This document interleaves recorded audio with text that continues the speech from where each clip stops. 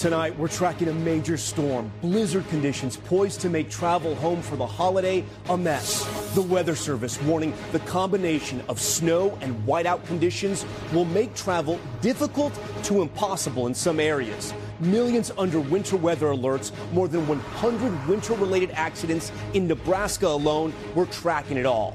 President Biden ordering airstrikes in Iraq in retaliation for a drone attack that wounded three American service members, one of them critically. The latest hostilities involving Iran backed militants. While in Gaza, intense new bombing by Israel, dozens killed, and the possible terror attack near an Israeli embassy. Plus, our Richard Engel in the Israeli occupied West Bank, where Palestinians face growing violence by Jewish settlers, the confrontation they caught on camera.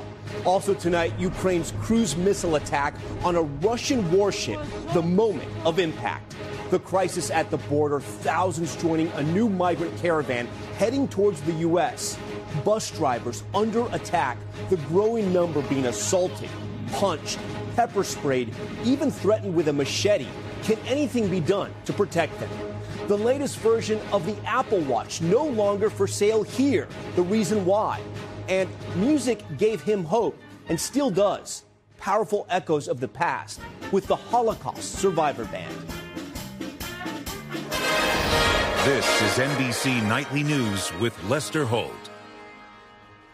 And good evening. I'm Tom Llamas in for Lester. We want to begin tonight with that big winter storm moving across the country with 6 million people under winter weather alerts, including blizzard and ice warnings. The sprawling storm bringing blizzard conditions and heavy rain to millions traveling home for the holidays. Stretches of major interstates closed. Nebraska Highway State Patrol responding to get this 150 accidents on Christmas alone. Colorado, Kansas, the Dakotas, and Nebraska are in its grip. Snow, ice, and strong winds making travel challenging for some tonight. This same system is stretching all the way to the east where there's lots of rain in the forecast. So let's get right over to NBC meteorologist Michelle Grossman, who is tracking it all for us tonight. Michelle, what can we expect? Tom, we can expect a lot. We're looking at heavy snow, blizzard conditions in the plains. We're also looking at freezing rain and a lot of rain moving throughout the Northeast by tomorrow. Six million people under winter alerts. We have winter weather advisories, winter storm warnings, ice storm warnings, and also blizzard warnings throughout the plains where you see that dark purple color. We're looking at really dangerous conditions there. Also the chance of some blowing snow. This is what it looks like on radar. The pink is that freezing rain, really dangerous conditions. Be careful as you head out. The blue is the snow and look at all this rain extending down to parts of the southeast. Some of it will be locally flooding. So be careful as you head out, especially tomorrow into Thursday. This is what tomorrow looks like. We're looking at storm system moving off to the north, bringing a soaking rain to the northeast. Tom? All right, Michelle, we'll stay tracking it all. Now to the Middle East and the volatile situation unfolding there. Today, U.S. forces across the region came under militia fire after President Biden approved deadly strikes last night on an Iranian backed group in Iraq. Courtney Kube has the late breaking details tonight. Tensions flaring in Iraq as the U.S. conducted precision airstrikes against three facilities used by Iranian backed militias. The U.S. military saying they killed multiple fighters. Defense officials sending a clear message to militia groups and to Iran. The U.S. strikes in retaliation for an attack on Erbil Air Base in Iraq on Christmas Day. U.S. officials say militants launched an attack drone that struck the base, injuring three U.S. troops, one in critical but now stable condition and being transferred to Landstuhl. In a statement, Secretary of Defense Lloyd Austin said these precision strikes are a response to a series of attacks against U.S. personnel in Iraq and Syria. There have been at least 105 attacks against bases with Americans in Iraq and Syria over the past two months, causing minor injuries. These incidents have dramatically increased since the October 7th Hamas attack against Israel, rousing Iranian backed militia groups throughout the region, including the Houthi rebels in Yemen who have assaulted commercial ships. Just today, U.S. forces shot down a dozen one way attack drones, as well as ballistic and land attack cruise missiles fired by the Houthis in the Red Sea region, according to U.S. Central Command. While traveling in Israel last week, Secretary Austin warned of an expanding regional conflict. Iran is raising tensions by continuing to support terrorist groups and militias. Attacks by these Iranian proxies threaten the region's citizens and risk a broader conflict. Courtney joins us tonight live from the Pentagon, and there's a new warning from an international watchdog group about Iran's nuclear program. Yeah, that's right, Tom. The International Atomic Energy Agency says Iran has sped up production of highly enriched uranium. Now, that's the material used to produce a nuclear bomb. Production slowed earlier this year while the U.S. and Iran negotiated the release of hostages. Tom? Courtney Kube with that new reporting tonight. Courtney, thank you. Let's head to Israel now. A new warning from the military chief that the war against Hamas will not end anytime soon. Today, the war's toll came into stark view as Israel steps up its bombing inside of Gaza. Josh Lederman has more. Tonight, as Israel warns the war with Hamas will go on for many more months, the world is getting a closer look at the scope of destruction wrought by more than 80 days of war. Israel's military saying it's expanding operations in the refugee camps of central Gaza, where the Hamas run Gaza Health Ministry says at least 70 were killed on Christmas Eve and in southern Gaza, where today volunteers carried out a grim task in Gaza's sandy earth. They dug a mass grave and laid to rest 80 Palestinians. Whether they were Hamas terrorists, innocent civilians, or a mix of both is unknown. But each shiny blue bag is a life cut short. The bodies collected by Israeli forces during the ground war and returned today to Gaza. Just 25 miles north, this is what's left of Beit Hanun, the first city bombed when Israel began retaliating for Hamas's October 7th terror attacks. This video was shot from a horse drawn cart, showing an endless wasteland. Mohammed's mom was killed when their house was bombed. His dad is missing. At 13, the lives of his seven siblings are now in his hands. I don't know how to deal with this, he says, but I know how to make my sister's milk. I change her. She hardly drinks the milk. Despite intense global pressure to scale back the war, Prime Minister Netanyahu is vowing to stay the course. His military chief of staff saying there are no shortcuts to dismantling a terrorist group. But the U.S. and Israel are at odds over whether Israel should control Gaza's security indefinitely. Tonight, a top Netanyahu advisor is in Washington for meetings with top U.S. officials, working to hammer out those differences with Israel's closest ally. All right, Josh Lederman joins us tonight from Tel Aviv. Josh, there was an explosion near Israel's embassy in New Delhi. What do we know about that?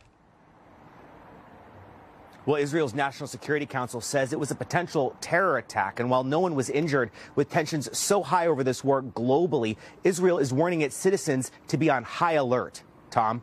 All right, Josh, thank you for that. Now to the war in Ukraine, where that country's military says it launched a cruise missile attack that destroyed a large Russian warship at a port on the Black Sea. The moment of impact, you see it here in this video taken in Russian occupied Crimea. One person was reported killed.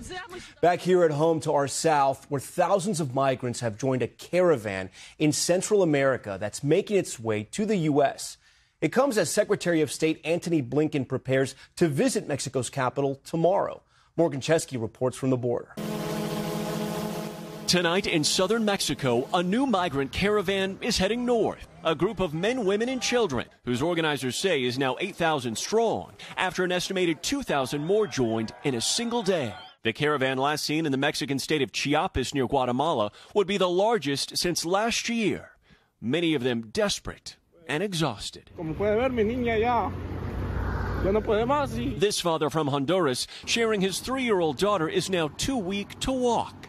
The U.S. border still more than a thousand miles away. In Eagle Pass, Texas, just days after these stunning scenes of migrant families lining the Rio Grande, tonight U.S. Customs and Border Protection facing a quiet lull that likely won't last long.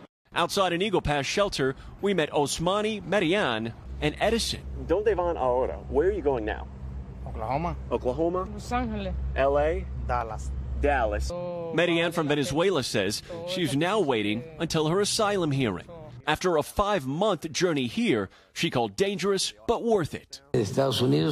Mexico's president now saying he'll meet with U.S. Secretary of State Antony Blinken tomorrow in Mexico City to discuss potential joint solutions.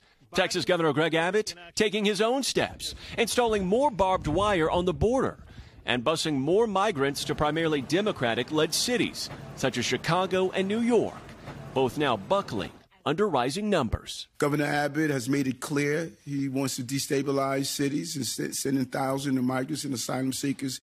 Tonight, as that migrant caravan makes its way north, lawmakers in Washington still need to strike a deal over southern border policy, but as of right now, there is no clear agreement. Tom? Morgan Chesky on the border for us tonight. Morgan, thank you. In 60 seconds, bus drivers under assault, the surge in attacks and growing fears, and what some cities are doing to keep drivers safe. Stay with us. We're back now with Apple pulling its most advanced smartwatches from American shelves. It comes after the Biden administration didn't overrule an international ban. Now, Apple has filed an emergency request today to end that ban. A medical monitoring tech company accused Apple of hiring away its employees and stealing its technology to make the new Apple watches.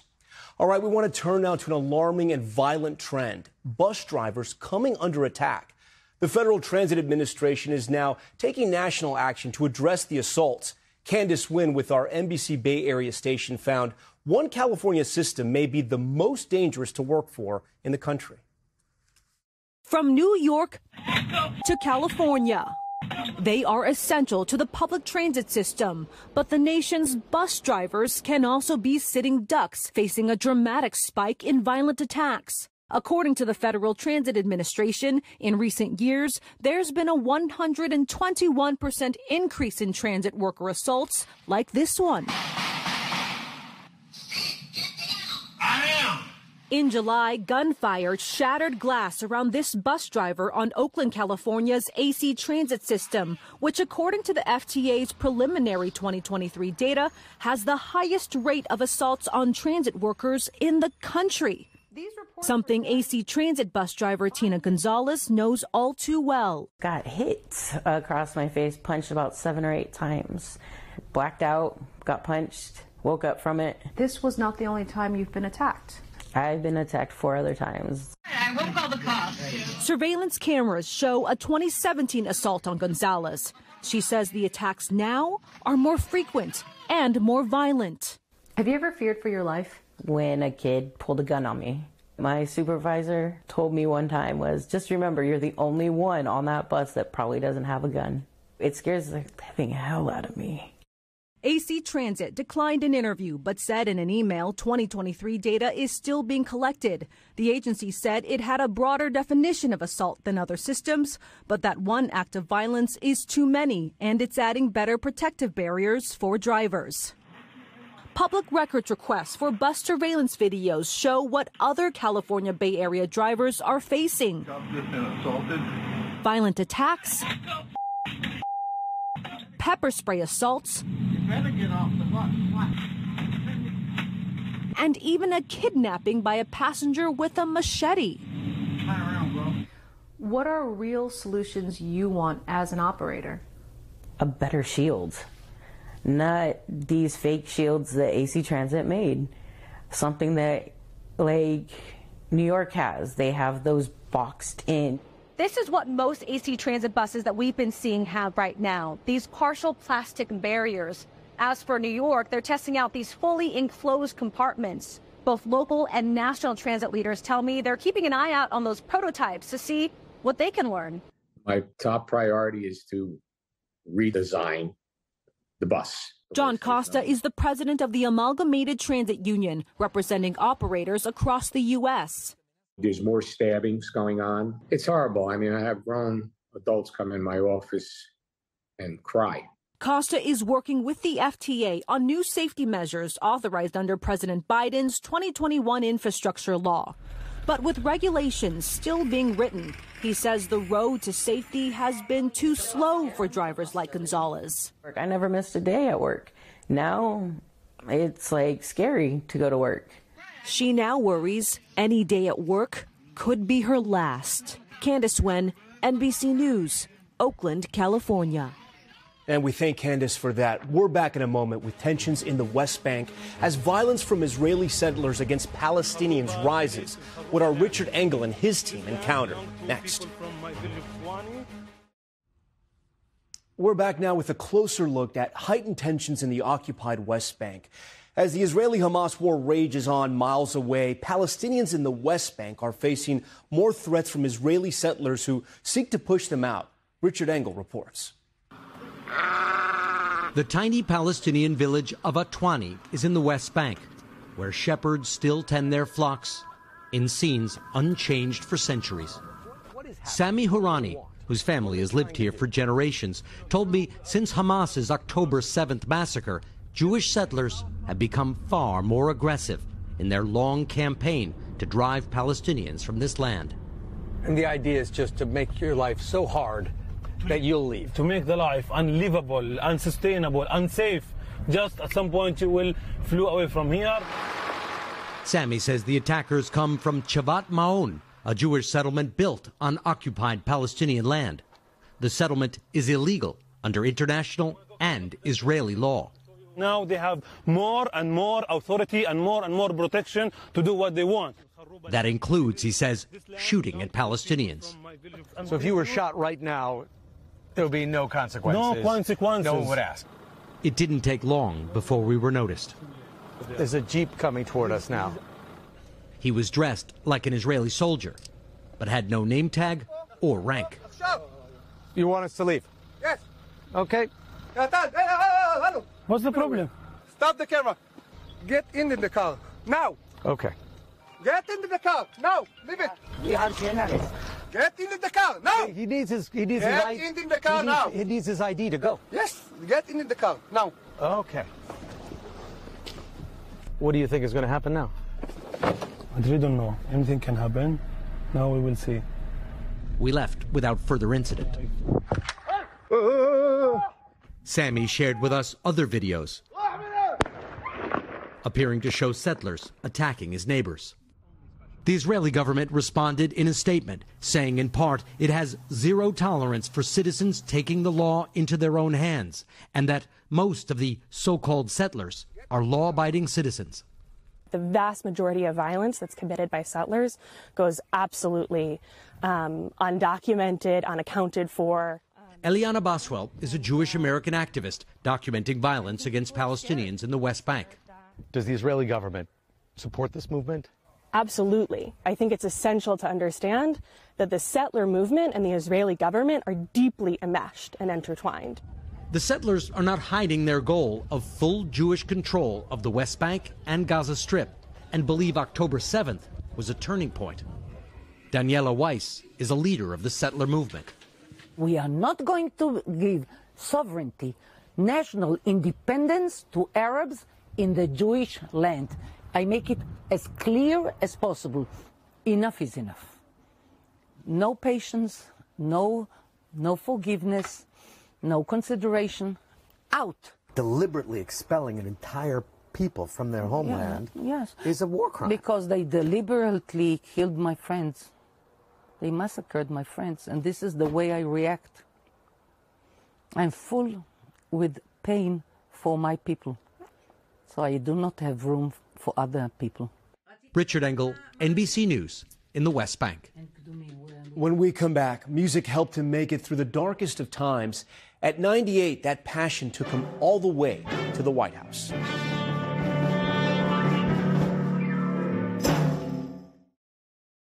Finally, a Holocaust survivor's incredible story about the power of music to unite people in their darkest moments. Here's Gabe Gutierrez.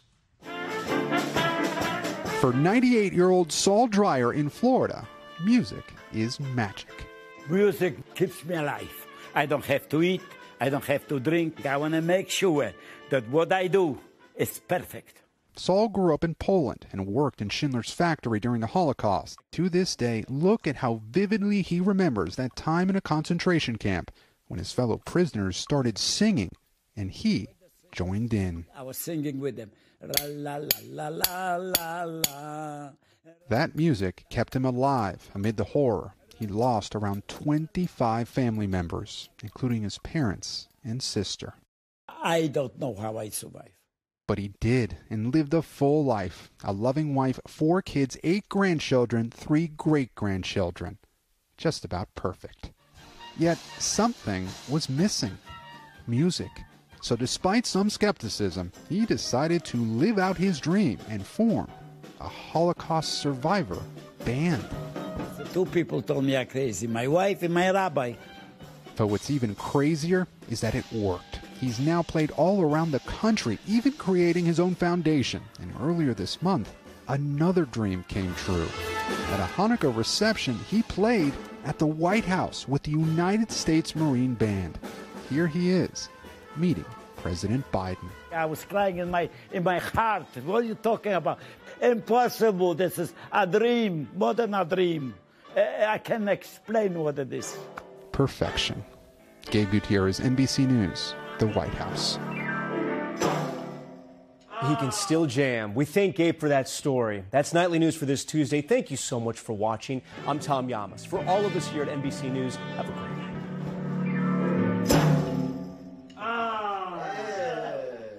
Thanks for watching. Stay updated about breaking news and top stories on the NBC News app or follow us on social media.